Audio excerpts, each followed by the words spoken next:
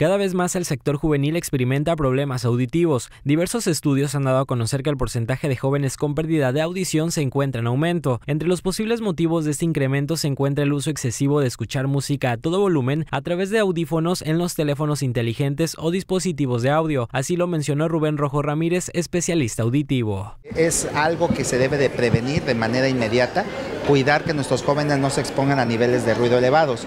¿Cómo hacer esto? Pues primeramente que nuestros jóvenes, los aparatos auditivos que estén ocupando para escuchar música, MP3, este, celulares, videojuegos, se usen a la tercera parte de la intensidad de ruido total.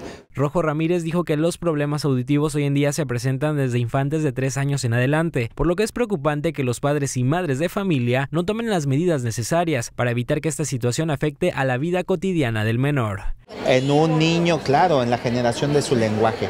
Si el niño no está oyendo bien, va a tener problemas para la adquisición de su lenguaje.